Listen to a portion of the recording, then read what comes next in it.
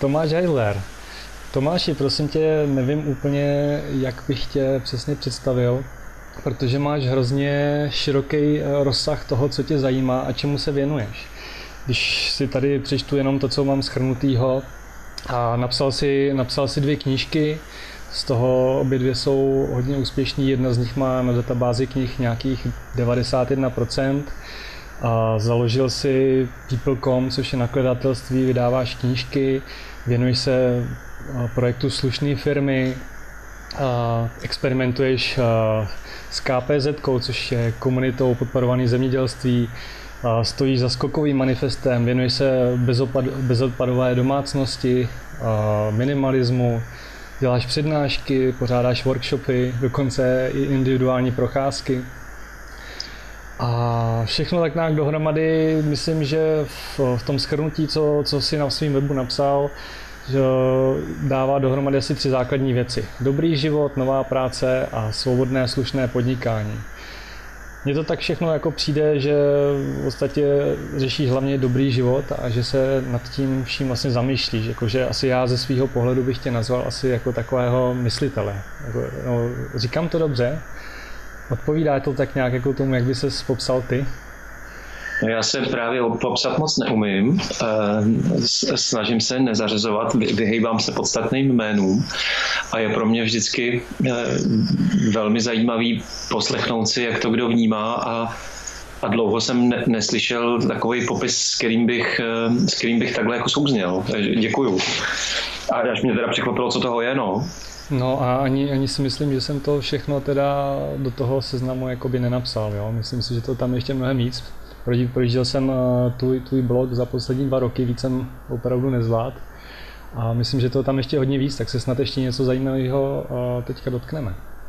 Hmm. Takže uh, abych uh, tak nějak řekl, o čem se budeme bavit. Uh, budeme se bavit hlavně o štěstí. Je to, je to rozhovor pro, pro web který se věnuje primárně štěstí. Hmm. A co mě dneska bude nejvíc zajímat, uh, jsou vlastně tvoje zkušenosti, tvoje subjektivní pocity, uh, přímo mě nebude asi zajímat, co jsi někde přečet v knížkách. Samozřejmě ten rozsah máš jako hodně velký přesah a ty znalosti, ale zajímá mě vyloženě tvoje zkušenosti. Vím, že jsi experimentátor, že spousta věcí zkoušíš sám na sobě, takže mě zajímá to, na co jsi přišel. Mm-hmm. Takže aby jsme začali, nejprve si tak nějak srovnáme názvosloví, protože to štěstí jako takový je taková hodně subjektivní věc, každý si pod tím představuje něco jiného. Takže mě teďka zajímá nejvíc, co vlastně pro tebe je štěstí, jako, jak vnímáš štěstí, jako ten pojem vůbec, ten pocit štěstí. Já jsem se na něj začal poslední leta dívat jako na e, eudaimoiny. E, to znamená, že to není stav mysli, tak jak si ho definuje většina z nás, ale že to je e, život, který je v souladu s vnitřním nastavením. E, když bych to řekl úplně primitivně, tak aby mě bylo dobře v břiše. Tak, tak to je pro mě. A a dost jsem si začal právě, já nevím, jestli to já už ztrácím pojem o čase, jestli to je dva roky, tři roky, nevím, ale oblíbil jsem si termín eh, dobrý život a, a vlastně mi překvapilo v rámci toho experimentování, že to je filozofická disciplína, že to není jenom takový to sousloví, který občas řekneme, ale že je to něco, co tady eh, po letí lidi zkoumají, že, že se o tom napsali kilometry textu a, a že eh, je to dost jiný, než to, jak si dneska to štěstí definujeme, když, když o něm mluvíme v naší dnešní společnosti. Takže pro mě je to dobrý, dobrý, dobrý život. To znamená dobře v břiše. Dobře. A jak bys, jak bys popsal, co je pro tebe spokojenost? Vidíš to nějaký rozdíl, nebo vidíš to jinak? Spokojenost jako slovo já moc nepoužívám. Mně um, vždycky přišlo, že je to něco takového jako pasivního a já jsem z dělací rodiny, kde se nesmělo jen tak sedět. Takže já furt kmitám a spokojenost mi přišla taková jako, jako moc klidná. E, takže nepoužívám to slovo příliš. A dokázal bys to připodobnit třeba něčemu, co, co používáš? Nebo jako co si myslíš, že by to asi tak jako třeba co většina lidí, jak to, jak to vnímá? Nebo... No spokojenost, ve spokojenosti je pokoj, klid, eh, takže bych když bych o tom měl přemýšlet nahlas, tak pro mě by to bylo asi, asi něco jako nic nedělání, bytí, něco, něco co se, co se snažím znovu naučit, eh, protože já jsem alkoholik, eh, vzhledem k tomu, v čem jsem vyrost. Eh, něco velmi podstatného, ale, ale mě stále dost jako cizího. No. Tak, takhle, takhle o tom přemýšlím. Ale fakt to jako nepoužívám jako kategorii, ne, nevěnuju se tomu. Mm-hmm. Když, když teda jo, pokud bych to teda chápal, tak já o tom přemýšlím teďka, tak mluvím o nic nedělání nebo o bytí. Eh, moje, moje jakoby důležitý koncept je ne, neděle, že jo, a se jenom nedělalo, protože že je to šílený, jak, jak vlastně u nás se uh, se otevřeli oči v Izraeli, jak tam mají ten šábes, je to jako všechno krásně viditelný, jak pátek s tím západem slunce se tam všechno zastaví, přestanou jezdit busy, vlaky, zavřou se krámy, nestaví se na stavbách a všichni mají prostě do sobotního večera klídek, kdy můžou být spolu, kdy můžou jít do synagogy, kdy, kdy prostě se můžou zastavit, zamyslet se, vnímat svět, můžou si opít nějaký maso nebo, nebo lilek a, a prostě jenom bejt a a teď, když se podíváš k nám, tak krámy jsou otevřený 24-7, staví se na stavbách, furt všechno jezdí. Tak tak tohle je takový jako moje veliký téma, nad kterým se zamýšlím. Tak protože... to vnímáš trošku tu spokojenost, jakoby volno prostor sám pro sebe? Takhle chápu to dobře? Tak, tak, no, no, no. A vidím, vidím, jak je těžký, když to kolem tebe plyne, jak je těžký se zastavit. Mm-hmm. Vzpomínám si třeba v dětství, my jsme jezdili každý léto k Dunaji, což je taková, jako, že ten tok je fakt silný. A, a pro mě obrovský aha bylo zkusit si plavat proti proudu, když zjistí, že v tom Dunaji to prostě jako teďka v dospělosti, že to jako neuplaveš, že chvilku plaveš, plaveš, plaveš, než tě to začne, že to takový jako legrační, že plaveš, ale stejně tě to nese.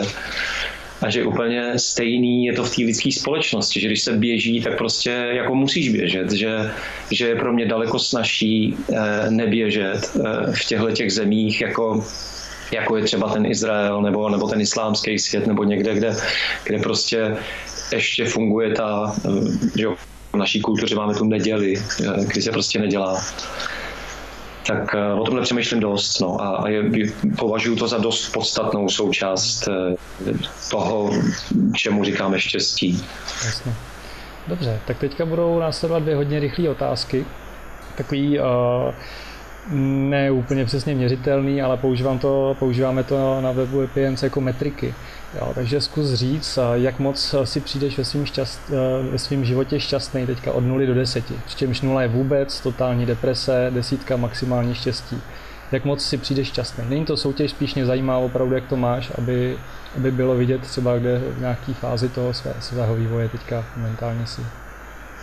Teďka, jak si spolu povídáme, anebo v tom... Ne, obecně, obecně dlouhodobě. Tak sedm. Sedm z deseti. Sedm, no. Tak stejná otázka na spokojenost, jak jsi spokojený? Haha, to jsi mě chyt, to je, tak to, pokud, pokud by to teda bylo k týmí definici, mm-hmm tak eh, já nevím, jak jsme dlouho z Maroka, my jsme byli 6 týdnů, 6 týdnů pryč a po návratu se to tak strašně rozjelo, že, že bych byl tak jako dvojka třeba. Mm-hmm, dobře. Jako bez, bez víkendů, fakt tempo, pokud teda by to byla tato definice. Jasně, dobře. Tak ty jsi říkal, že vlastně ta spokojenost není úplně vlastní, tak? Jako, že to, to, to hodně volná, že jsi, že jsi workoholik, takže vlastně to asi není úplně něco, nad čím bys tak jako pracoval. Říkám, no, pracu, pracuju, ale nejde mi to. To je prostě závislost jako jakákoliv jiná, že jo. Někdo kouří, já pracuju, no, nebo, nebo pracuju. To je prostě činnost, že jo, na činnosti. Rozumím, chápu. Tak jo, jdem dál. Za poslední, za poslední dva roky jsem tady vyjmenoval, čemu všemu si se věnoval. Jsou to hlavně témata práce, učení se, hodnoty, vztahy, smysl života, pomoc ostatním. Takže těmhle těm uh, tématům se tak nějak věnoval. A mně tak přišlo tak jako, že dohromady v podstatě všechno je to vlastně o tom jednom a o tom vlastně jak být šťastný. Vlastně ty si říkal ten termín dobrý život. Hmm. Je, to, je to náhoda, nebo je to v, v podstatě tím, že se snažil nějakým způsobem zapracovat na tom svém životě, abys byl v životě šťastnější?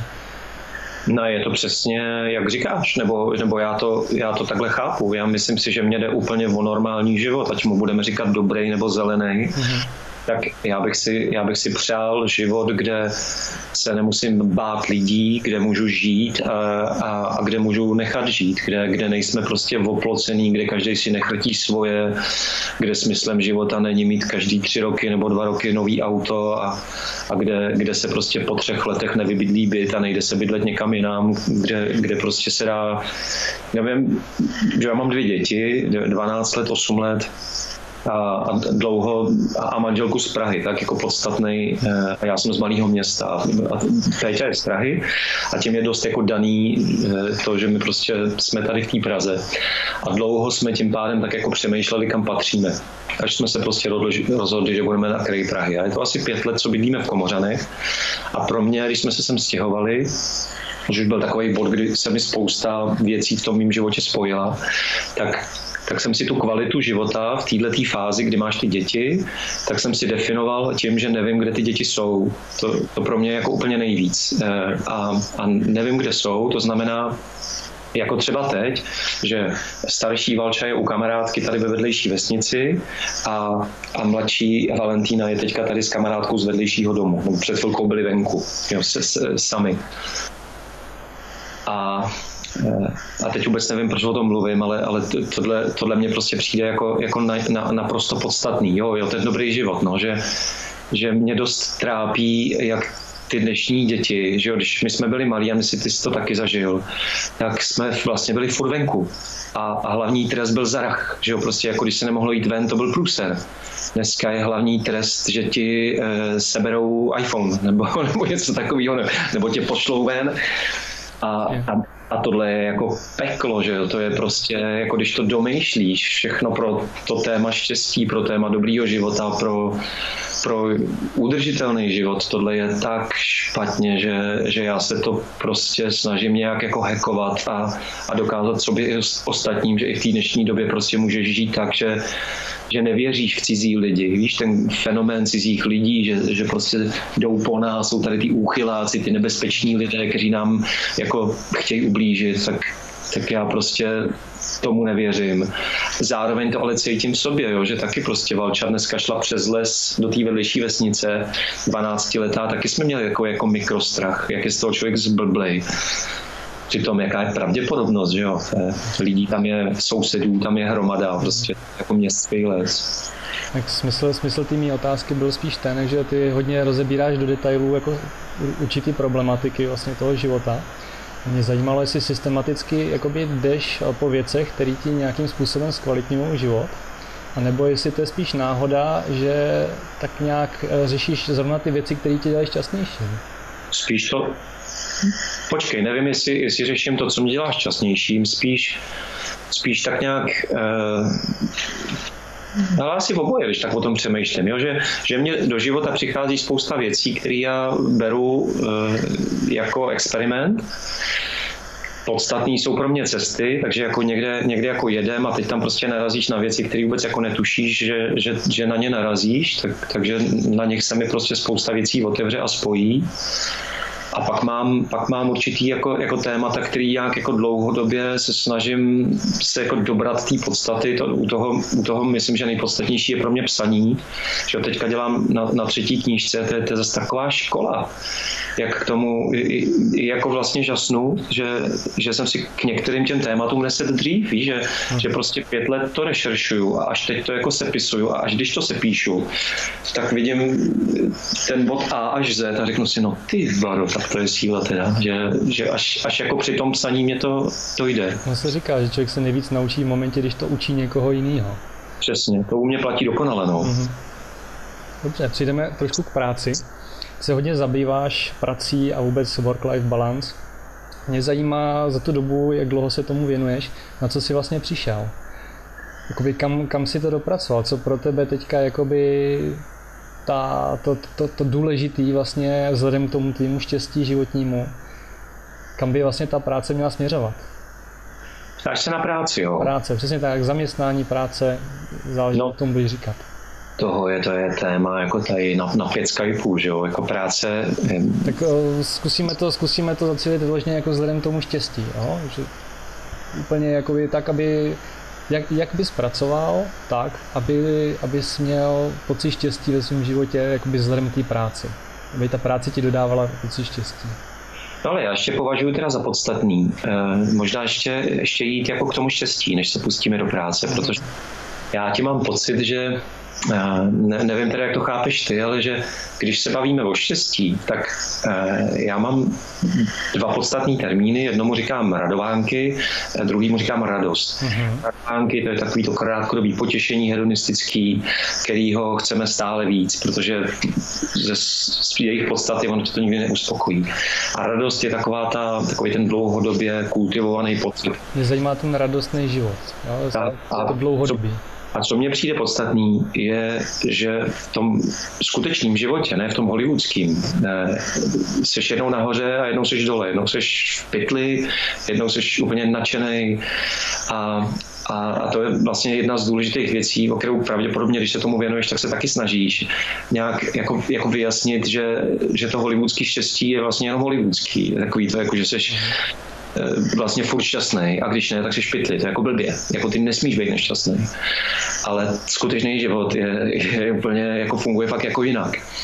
A, a tohle mě přijde důležitý, naučit se, že je to fakt houpačka, že jsi jednou nahoře, jednou dole a, a že, to, že to je správně, že to tak má být, že, že kdybys nebyl dole, tak neuvidíš nahoře. Mm-hmm. A tohle je jako, jako pro mě základ základů, který mě, se nějak snažím předat dětem a, a který, který prostě podle mě, když nepochopíš, nemůžeš být v pohodě. Mm-hmm. Tak a skok k té práci, eh, že já jsem si, já tomu říkám důlek, mně přijde podstatný eh, to, co děláš, aby stálo prostě na důlku, aby si dělal to, co tě zajímá jo, nebo jako maximum toho, co tě zajímá, co tě pálí, co tě těší, k čemu máš vztah, aby to nebylo vydělávání na život, aby to nebylo takový to hákování, si myslím, je pěkný termín, že máš práci a máš hákování, nebo činnost a hákování. Hákování je takový to, co děláš pro to, aby za to něco dostal a, a to bychom měli minimalizovat, anebo úplně, úplně prostě odrovnat a já, já jsem velký zastánce nepodmínečního základního příjmu a věřím, že až to přijde, tak, tak prostě hákování, hákování prostě prostě nebude. Takže by si měl dělat maximum toho, co tě zajímá eh, s lidma, s kterými ti je dobře, stylem, který ti je co možná nejvlastnější. To si myslím, že jsou jako podstatní parametry. Tak, aby si mohl i spolu rozhodovat samozřejmě o tom, co, kdy, kde, jak, s kým budeš dělat.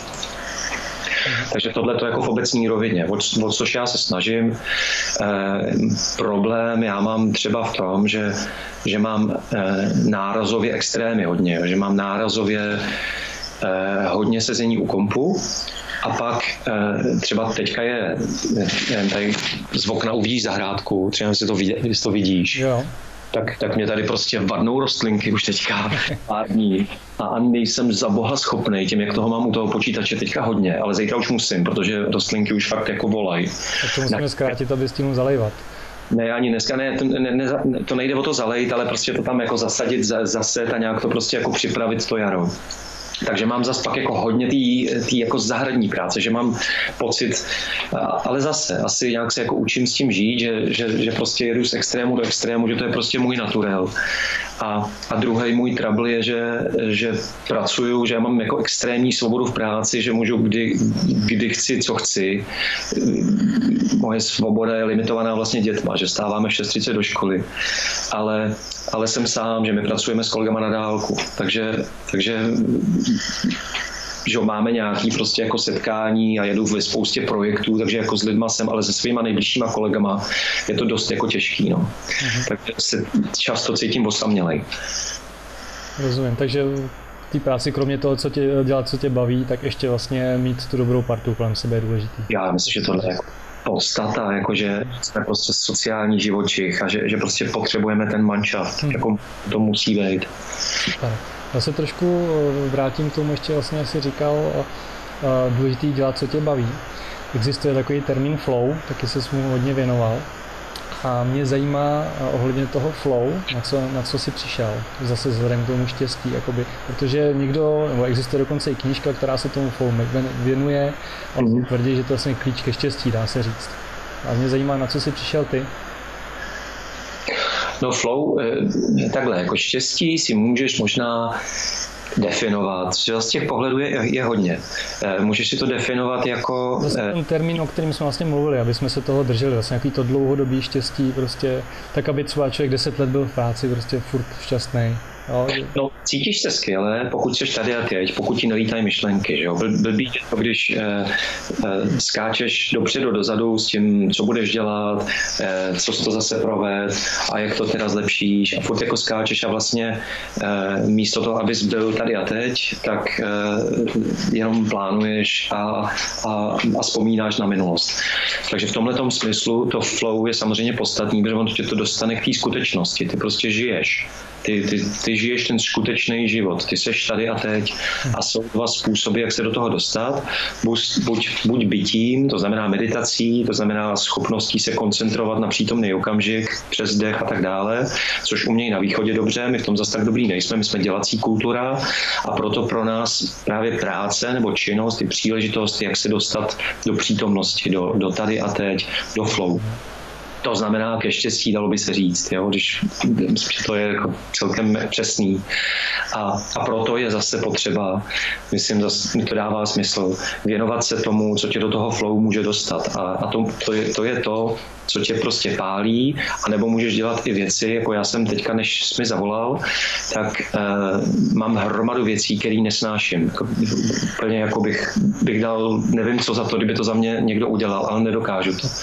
Třeba srovnat účty z Maroka pro, pro účetního. A on ještě je takový dost pinklich, takže požaduje, aby jsme mu to napsali do tabulky.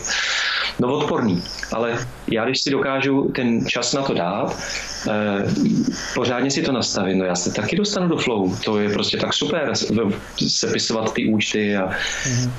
Já jsem spíš narážel na to, že vlastně ty eh, na svém blogu psal o tom, že určitou zkušenost s tím flow máš a že vlastně to flow může mít i nějaký následky. Když vlastně děláš něco, co tě opravdu baví, zapomínáš na čas, opravdu tím žiješ, tak to mě, to mě zajímá potom, jakoby, co to flow, jako potom, jako, když to člověk opravdu žije, co tomu vlastně může, jakoby, jaký vliv, vliv to na tebe potom může mít.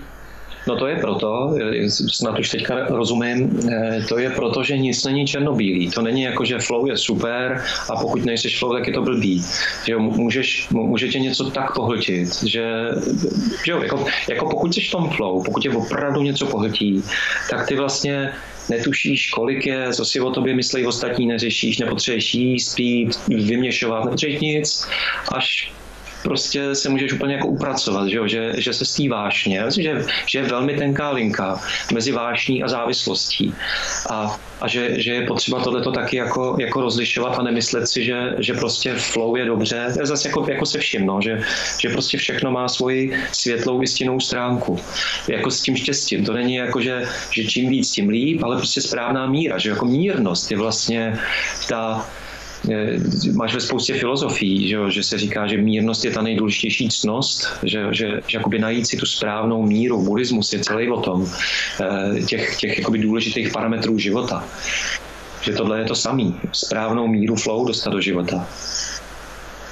Jasně, takže v podstatě přirovnáváš to flow jako určitý droze, zase jako dobrý sluha, špatný pán.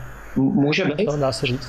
No, může být, protože ona nám to vyplavuje tu příjemnou chemii, na který můžeš být samozřejmě závislý, že jo, jako do, dopamin to je ta látka. Super, takže důležitá myšlenka je vlastně ta střídmost. Ano. Výborně.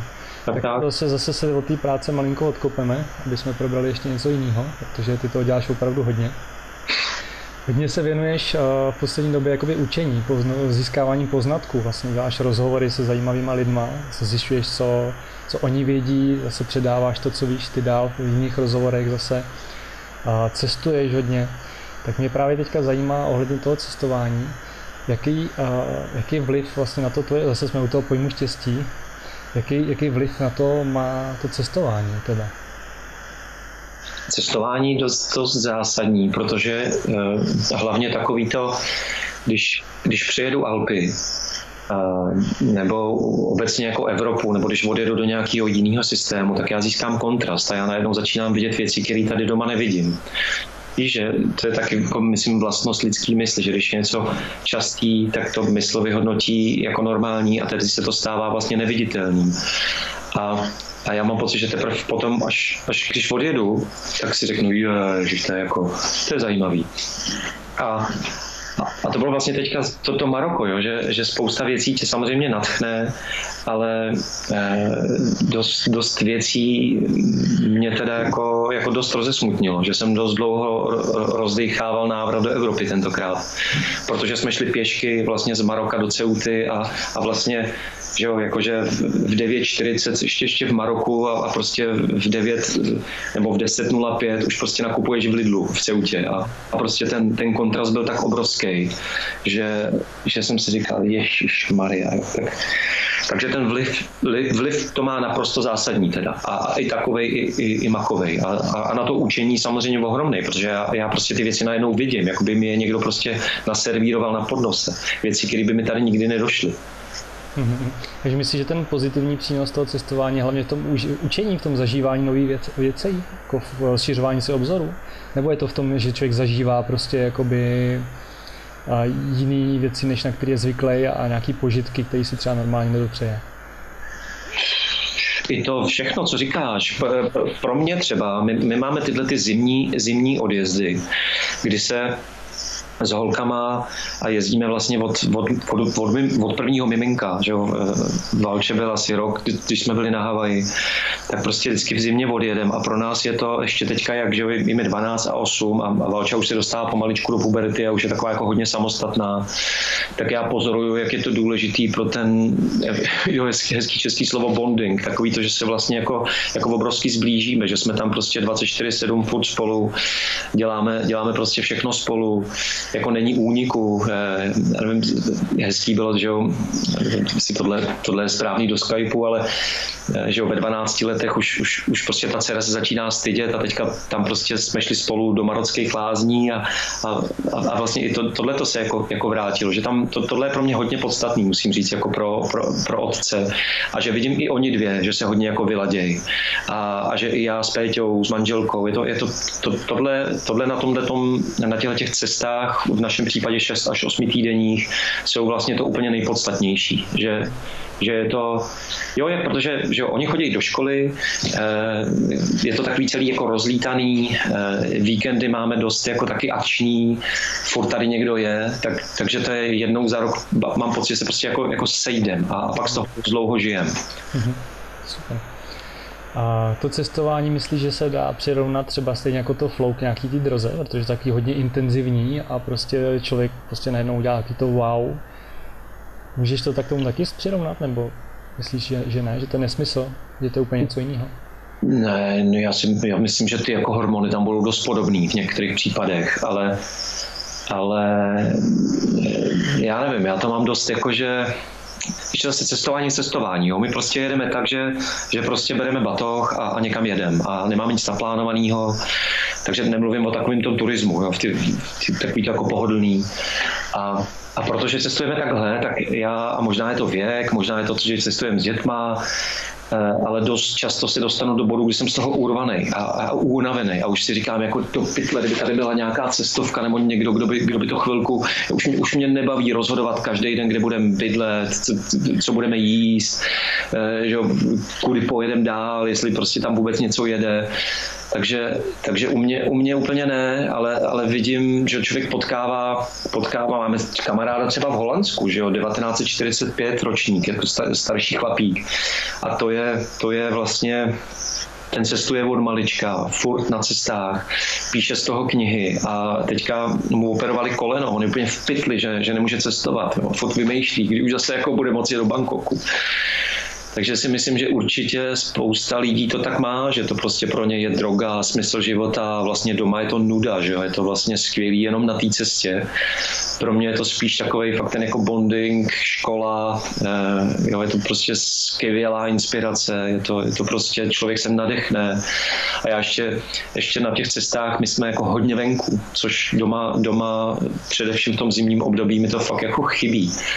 Takže tak nás to jako, jako že nám to jako dodá život, bych řekl, že nás to prostě úplně, jako, že nás to jako uzdraví, snad by se dalo i říct, no, ale, ale drogu jako u sebe nepozoruju. Jasně. Trošku to nakous a vlastně ty si říkal, že jste se tam bavili s někým na té cestě. Když takhle děláš ty rozhovory, protože ty spousta těch rozhovorů o tom i natáčíš a publikuješ na svém blogu, Jaký vliv má tohleto vlastně na ten tvůj pocit toho štěstí? Já se furt vracím tomu štěstí, jako že to získávání nových informací, jakoby, je to, je to pro tebe něco, co je pro tebe jako důležitý právě z tohohle hlediska? rozhovory s jinými lidmi, získávání jiných názorů. No to je možná stejný jako to cestování. Je to, je to zase další, jsou to zase, víš co, já možná bych tomu řekl i jako že to jsou další dveře, kterými já vlastně jdu k sobě. Ono to je celý to štěstí, možná otázka terminologie. Ty tomu říkáš štěstí, já bych tomu možná řekl, že to je, že to, je to, že se člověk dostává víc k sobě, že se víc slaďuje s tím svým vnitřním nastavením, má menší potřebu být někým, eh, o co menší potřebu má být někým, tak o to víc je, že se mi prostě daří být víc tím, kým jsem. A, a ty rozhovory s, s lidma samozřejmě, že to, je, to jsou aha, to je to, to, je, to víš sám, to je, je, já bych řekl, že to je podobně důležité jako to cestování, jako, jako knihy, u mě, u mě čtení je velmi důležitý, pak to vlastní experimentování je super, to psaní je super, bez těch rozhovorů bych si to nedovedl představit a tím, tím, že to je jako před tou kamerou, tak to má prostě takový jako, je to, je to ještě jako lepší, než by si člověk jen tak jako povídal. Jasně. Myslíš, že uh, vůbec s tím letím vším, jak jsme teďka vlastně mluvili uh, o tom učení, je, je to tak, že se snažíš pochopit vlastně, jak funguje život?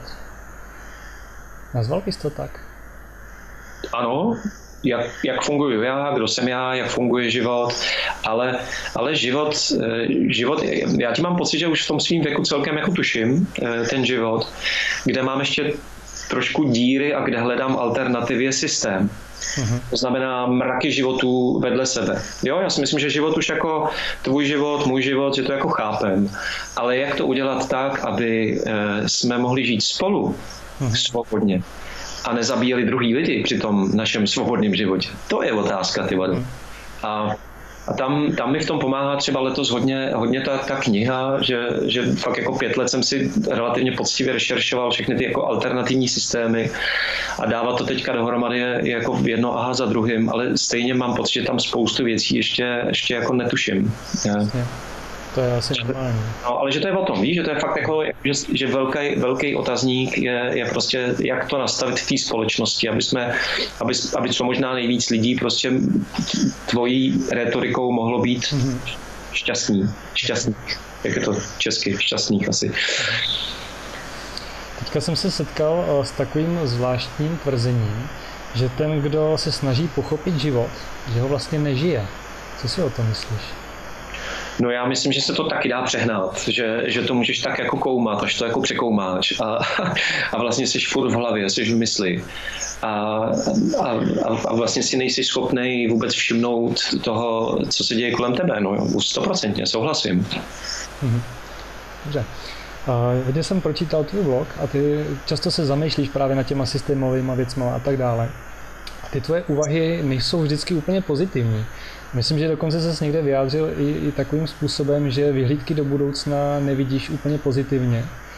Tak mě právě zajímá, jaký, jaký tenhle ten způsob tvýho myšlení vlastně potom na tebe má dopady. No, eh... Se, jako, se těma problémama neschováváš úplně, že jakoby vidíš, identifikuješ a tím, že je řešíš, tak vlastně seš ty negativní energii, kterou vlastně vidíš. Ani ne, to spíš, spíš eh, Zase budu přemýšlet na hlas. Jo? Dneska, dneska jsem do blogu slušné firmy dával eh, něco, co se jmenuje nějak ve smyslu, čekaj, se na to podívám, jsme, jsme v prdeli nebo kde vlastně. Je to, je to kapitola z té knihy, na který dělám. Eh, je to 13 elementů ekologické a sociální krize. Jsou to vlastně jenom fakta, nebo, nebo snaha, fakt, jo, otázka objektivity, subjektivity, ale, ale je tam mraky čísel, který, když si to prostě pročteš, a, a a dokážeš přijmout, že to tak může být, protože v dnešní době vlastně Orvelovský eh, už nevíš, jak co je, protože každý je na všechno odborník a, a jakákoliv realita si dá vytvořit. Taky vlastně prdel, že jo. Um, tak um, na tebe padne něco, čemu se říká environmentální žal nebo sociální žal, prostě ti jo, vidíš, vidíš ty, já se tady teďka dívám na ty děti, tak, tak ti je vlastně jako, jako smutno z toho, jak tady jedna, jedna, dvě generace dokážou zlikvidovat to, co tady prostě tisíce let evoluce někdo budoval. Jo? Prostě jak, jak je možný, že, že to tady prostě za dvě generace vlastně sežerem a zničíme všechno. A v tom, v tom mě dost nepomáhá to cestování, protože vlastně když jezdíš do těch různých tramtárí, tak ty důsledky vidíš vidíš důsledky, které tady v životě neuvidíš, že jo? Ať, ať už to jsou prostě ty, teďka ta, ta přehršel těch plastových odpadků, že my tady máme ten recyklační systém, který vlastně ve velmi většině planety není, nebo, nebo vidíš to, jak dochází voda, vidíš to, jak se prostě mění to počasí, jak někde máš šílený sucha, někde šílený záplavy. Tak z tohohle, z tohohle mě prostě dobře není. Eh, a, a že, že jako hodně čtu tuhle tu literaturu, která se snaží, že vědeckou, která se nám snaží vysvětlit, jak, jak se vlastně jako máme. A, a vlastně ze spousty těch, těch textů i když se bavím s těma lidma, tak já čtu a slyším, že už je prostě pozdě, že, že to jako, samozřejmě je tady technooptimismus, že, že prostě to nějak jako vymyslíme technologicky a dneska jsem narazil na, na nějaký bakterie, co žerou pet, petlahvé. Víš co, takže nakoumáme nějaký bakterie, které nám tady vlastně jako vytvoří vodu a, a zase vrátí to klima a, a, a sežerou to CO2. Možná jo, ale zatím to tak nevypadá. A z toho já mám žal, No. Mě právě jde o to, jestli to dokážeš potom jako brát s tím nadhledem. Třeba jak, myslím, že buddhismus to vlastně učí, že vlastně oni říkají, že takový ten pocit, že všechno je v pořádku. Jako, no. Když tohle to všechno vidíš, jestli něco takového dokážeš. No a myslím si, že jo, že, že já jsem chtěl říct žál a tečka. Jo? To jako, jako když se věnuju tadyhle těm soustažnostem, tak, tak prostě to na člověka dolehne, úplně jako zákonitě. A pak, a teďka ještě teda nejsem u, u buddhismu, ale jsem v takovém tom svým obyčejným normálním životě, kdy prostě jsme doma něco tvoříme, jsme s dětma, jsme s kamarádama, jsme se sousedama a je tady tak, takový ten normální kmitot. Nebo se tady hrabu v zahradě, nebo včera jsme tady bezobalili. Tak já jsem úplně jako, jako možná teď bych použil to slovo spokojený člověk jako já mám pocit, že je všechno v pořádku, že jo, a ještě my jsme, my, že důležitý je podotknout, že já, já prostě žiju v Praze, jako v, jako v blahobytné společnosti, prostě já, já tady nevidím žádný znaky chudoby dramatický, že jo, potkávám lidi bez domova, vidím tady zničený veřejný majetek samozřejmě, ale nevidím tady to, co vidím v malých českých městech, nebo to, co vidím, když jedu někam na jich, že jo. Tak tady, tady na mě Valentína mává, Týnuško neruš. Uh, No, po, počkej, no vidíš, a ty Valentína mě vyrušila. Jo, no, takže, takže prostě environmentální žal, pak můj malý obyčejný život, skvělý, tady je to těžký a, a, a ten buddhismus se nějak snažím jako leta praktikovat, takže, takže jako já si myslím, že, že žiju jako parádní život, jo, na tu, na to, na to jako globální situaci. Je, je to jako super samozřejmě, je to, je to skvělý. Akorát jsem někdy uhnaný. To je jako můj, můj problém je ten workoholismus, no, ale to už tak nějak se jako učím se sebou žít. Určitě, uděláme pauzičku.